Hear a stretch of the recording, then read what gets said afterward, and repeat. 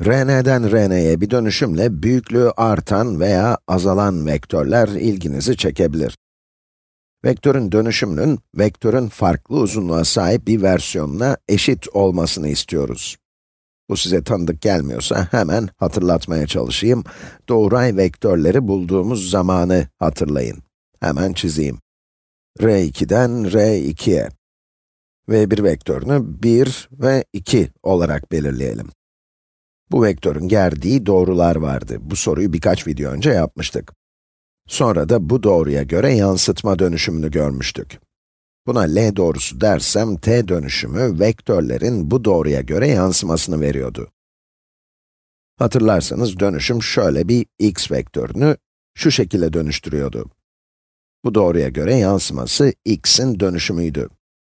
Ve o videoyu hatırlarsanız dönüşüm matrisini bulmamızı sağlayacak farklı bir doğray arıyorduk.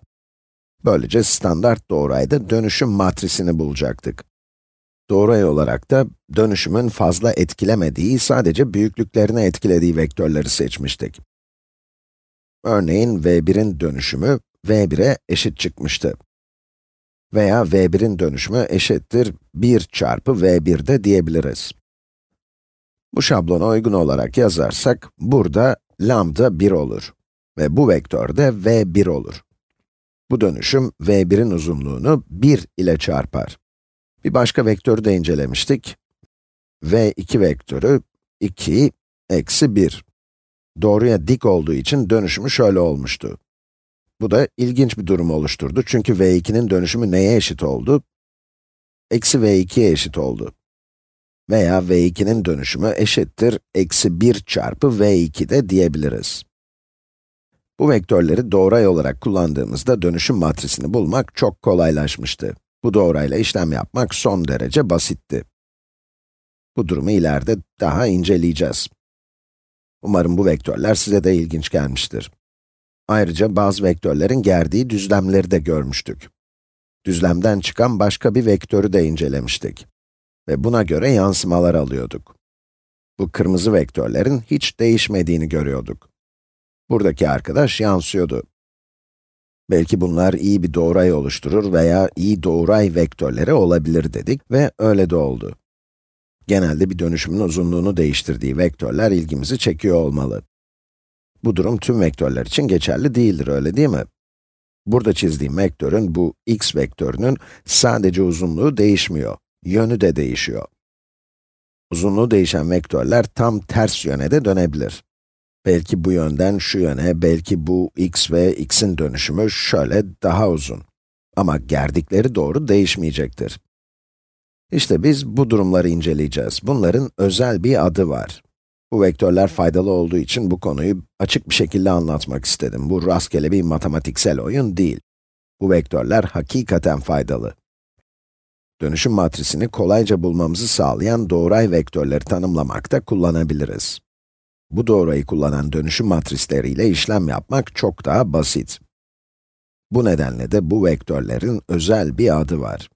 Bu özelliğe sahip bir vektöre t dönüşümünün öz yöneyi diyoruz. Öz yöney, öz yöney.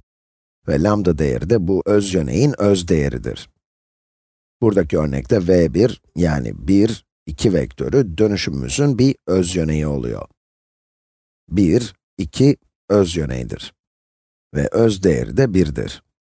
Bu arkadaş da öz yöneydir. Eksi 2, eksi 1 vektörü. O da öz yöneydir. Çok havalı, çok fiyakalı bir sözcük. Anlamı da şu. Dönüşüm sonucunda yalnızca uzunluğu değişen vektör. Daha anlamlı bir değişime uğramayan vektör olarak da düşünebilirsiniz. Bu özyeneğin öz değeri ise eksi 1. Bu dönüşümün matrisini hatırlamıyorum, uzun zaman önce bulmuştuk. Bu dönüşüm matrisini bir matris vektör çarpımında kullandığımda bunu yapabilmenin nedeni doğrusal dönüşüm olması. v'nin dönüşümü eşittir lambda çarpı v derim. Ayrıca v'nin dönüşümünün a çarpı v'ye eşit olduğunu da biliyorum. Bu vektörler ayrıca a'nın öz yöneyleridir. Çünkü a dönüşüm matrisidir. Yani bu durumda bu a'nın öz yöneyidir ve şu da bu öz yöneyin öz değeridir. Bana bir doğrusal dönüşüm matrisi verdiğinizde bu öz yöney ve öz değerleri bulabilirim. Bir sonraki videoda bunları bulmak için bir yöntem oluşturacağız. Ama bu videodan almanızı istediğim esas şey şu. Vektörlerin fazla değişmediğini görüyoruz. Evet ama bunun anlamı nedir? Uzunlukları değişiyor, belki tam ters yöne dönüyorlar ama gerdikleri doğrular değişmiyor.